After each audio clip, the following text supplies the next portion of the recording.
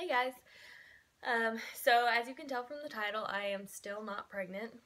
Um, we are on cycle 10, um, TTC, and um, things have been um, pretty normal so far. Um, we are on cycle day 14, and I have not ovulated yet.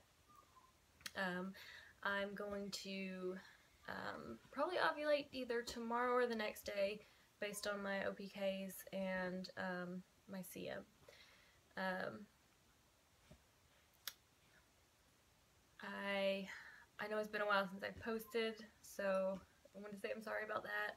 I've just been really busy uh, the past couple weeks, and uh, was gonna get one up this weekend, um, but with Mother's Day, I traveled and um, ended up not um, not getting anything done because I pretty much passed out when I got home. Um, so this month what we're doing is we are trying, um, I'm not sure if it's a certain technique, but um, we are beating on the cycle day 11, cycle day 13, cycle day 15, and most likely cycle day 17.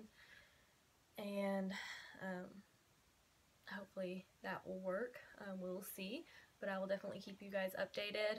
Um, the only other thing that I can think of right now is that um, this is probably the first cycle that I've had that I haven't had um, pain in my ovaries, so I don't know if that's a good thing or a bad thing, but um, I guess I'll find out. Um,